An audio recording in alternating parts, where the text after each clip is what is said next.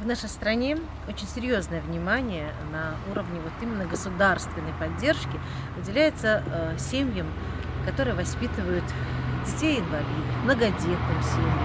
В принципе, вообще тем семьям, которые оказались в какой-то ситуации. Но э, помощь, ведь она должна быть не только законодательно отрегулированной. Помощь должна быть, наверное, и тех людей, которые живут рядом.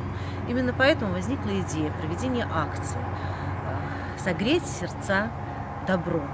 Э, эта акция стартовала нашем вот Слонимском избирательном округе, это значит в Слонимском и Зельвинском районах, э, при поддержке э, центров социального обслуживания населения, заинтересованных людей, просто неравнодушных. Она стартовала у нас в День матери, 14 октября, и будет длиться до 2 декабря, когда мы будем отмечать День инвалидов, Международный день инвалидов.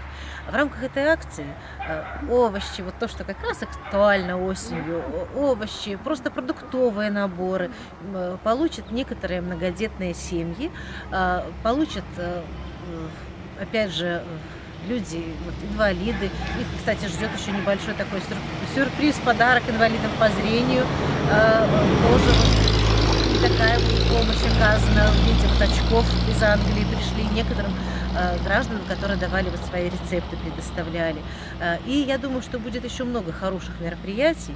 И, пользуясь случаем, хочу пригласить всех неравнодушных людей присоединиться к нашей акции и помочь тем, кто живет рядышком, тем, где воспитывается шестеро детей, пятеро детей, многодетным семьям, где, может быть, сложности какие-то есть материальные. Можно помочь э, не только добрым словом, но и игрушками, возможно, книгами, э, может быть, какими-то овощами поделиться, для того, чтобы эти люди, эти семьи почувствовали нашу поддержку, для того, чтобы теплом своего сердца согреть маленькие сердца э, наших деток, которые действительно ждут этого внимания.